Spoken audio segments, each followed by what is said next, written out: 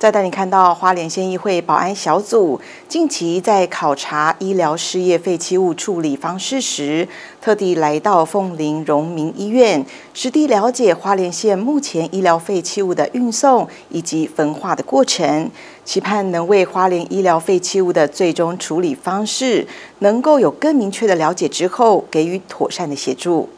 花莲县医疗废弃物三十几年来是经由花莲县医师工会与凤林农民医院合作，为有效妥善的解决花莲县境内的各医疗单位所产生的废弃物，由花莲县医师工会以及合格的医疗机构成立，并取得焚化经营许可，共同清除及处理医疗废弃物。花莲县议会保安小组希望借由考察的行程，能够更了解医疗废弃物的去化过程，以妥善的保护花莲县的环境。那我想今天就是我们呃保安小组啊，然后呃每个议员都很关心花莲的环境的议题。那特别傅国院议员对于这个医疗废弃物的焚化设备，然后也特别的关心，所以我们今天特别来了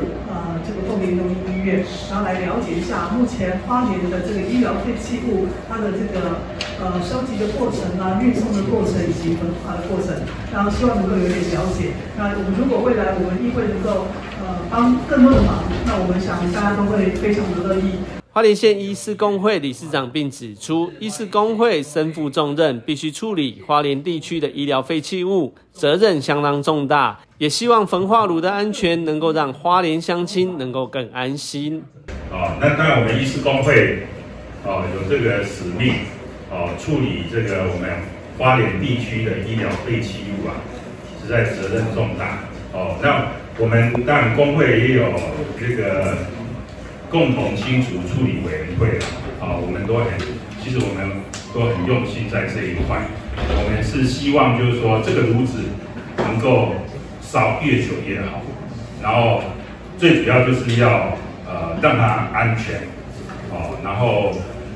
能够让这些废弃物啊，哦不要不要影响到这个我们的县民，而且要做到呢，让这个县民能够安心啊。在民国八十年，由五个单位所成立的共同处理管理委员会，于九十二年取得共同清运及共同处理许可证，自一百零七年办理展延至今，并陆续取得污水处理防治许可证、甲级废弃物清除许可证、废弃物处理余量许可证等。保安小组在参观焚化厂后，也期许医师工会能够妥善处理相关医疗废弃物的焚化及清运。让县民能够更安心。记者林杰、凤林镇采访报道。